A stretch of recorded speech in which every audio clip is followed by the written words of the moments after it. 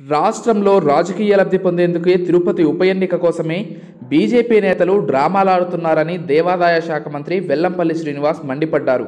BJP TDP హయాంలోనే దేవాలయాల భూములు అమ్మేశారని గుళ్ళు కూల్చేశారని దుయ్యబట్టారు.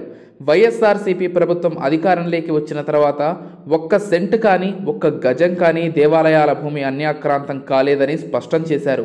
తాడేపల్లిలోని వైఎస్ఆర్సీపీ కేంద్ర కార్యాలయంలో బుధవారం ఆయన మీడియాతో మాట్లాడారు. చంద్రబాబు హయాంలో దేవాలయాలను కూల్చివేస్తుంటే ఎందుకు మాట్లాడలేదని సోము వీర్రాజును ప్రశ్నించారు. ఈరోజు సర్జికల్ స్ట్రైక్ అని మాట్లాడుతున్న బీజేపీ నేతలు ఆ రోజు ఎక్కడున్నారని ప్రశ్నించారు. ఆలయాలు కూల్చివేసినప్పుడు బీజేపీలో ఉన్న తాను విజయవాడ బంద్కు పిలుపునిచ్చారని చెప్పారు. ఈ బంద్ పిలుపుతో పార్టీకి సంబంధం లేదని బీజేపీ ప్రకటించిన విషయం వాస్తవం కాదా అని నిలదీశారు.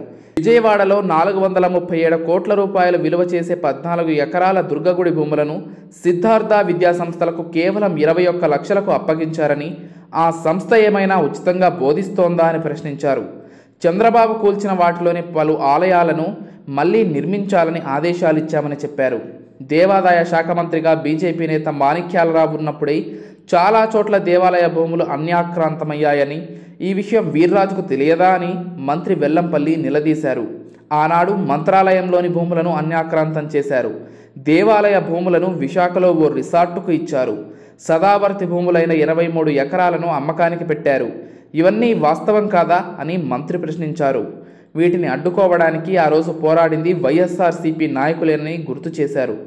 చర్చిలకు డబ్బులు ఇస్తున్నారని విమర్శిస్తున్న వారికి డెబ్బై కోట్లతో అభివృద్ధి చేస్తున్న దుర్గగుడి కనిపించడం లేదా అని ప్రశ్నించారు.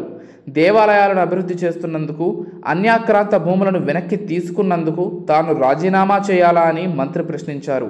విద్వేషాలు రెచ్చగొట్టవద్దని హితవు పలికారు.